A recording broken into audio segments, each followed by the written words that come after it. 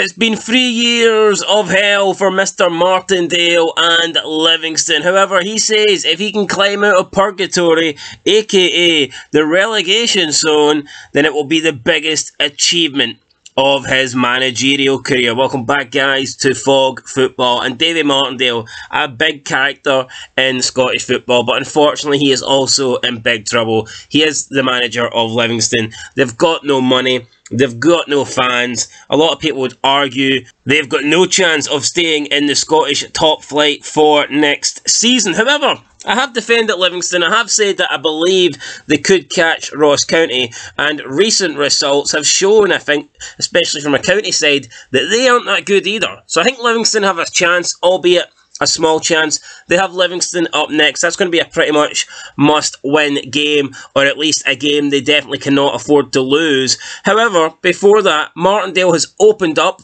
about the current ongoing situation at Livingston with an interview on BBC Sport. This is what Martindale had to say regarding the club, the position it's in, and the money it is losing. Quote, half a million pounds it's cost over the last three years. That budget coming away from the football department through litigation has made the job extremely hard. The club would be in a far better place if it wasn't for outside parties blocking everything the current regime is trying to do. It's been three years of hell, dealing with a lot of adversity in the building, dealing with lawyers, emails. I am, fortunately or unfortunately, the main constant at the club. I have been here for 10 years. I've known 99% of the background, so they have relied on me to help the club through that difficult moment. There's been some dark moments and I would like to be honest with the media, but I'm fairly resilient. I am used to adversity. Probably half an hour later, I'm sitting with my staff saying, let's go again.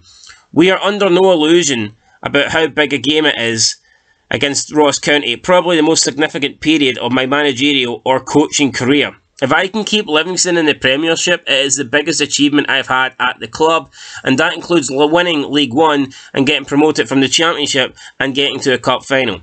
I think it was very I think I was very vocal at the start of the season speaking about how difficult a season it was going to be. Granted, I didn't think it was going to be this difficult.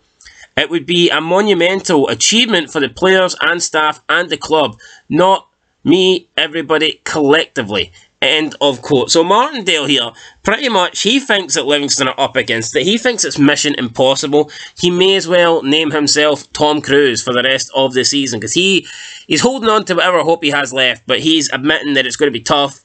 And if he can somehow do it, then it would be the biggest achievement that he has accomplished in his career. And you know what? I'd like to see Martindale do it. He's a good guy. He's a funny guy. I think he's good for Scottish football. I like Martindale. I like his interviews. I like his take on life. And I want to see Martindale remain in the Premiership. I want Ross County to go down. No offence, Ross County fans, but your team's been shite for a while now. You've hired unlikable wankers after unlikable wankers. Here, first you've got Malky Mackay, uh, then you have that fruit that came from Peterborough or Morecambe or whatever shite team in League Two he came from, Derek Adams. Screw him. Screw Ross County. I hope County go down. I hope Livingston stay up, and I think Davy Martindale can do it. Massive game at the weekend.